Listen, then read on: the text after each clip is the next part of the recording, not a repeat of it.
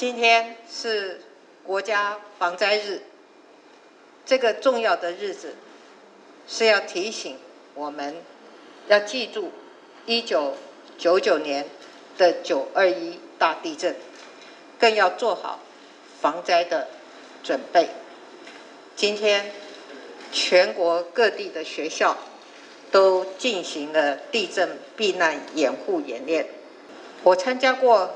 各式各样的防灾演练，不过今天是我第一次参加我们特殊教育学校的演练。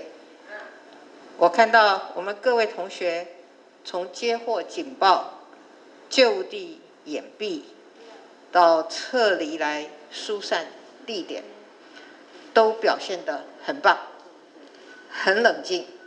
我要给大家比一个大大的赞。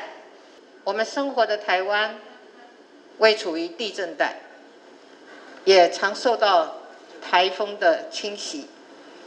但是，只要我们做好准备，就能够因应灾害的发生，保护好自己，也保护好我们的家人。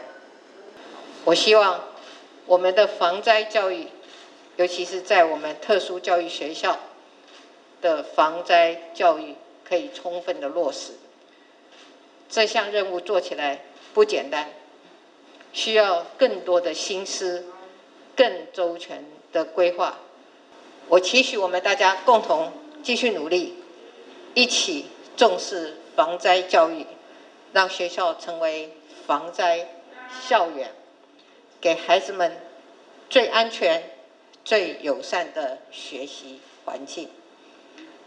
最后。我还是要再一次感谢市长的用心，他们工作团队的努力，还有各位同学今天的表现，真的很棒，谢谢，谢谢大家。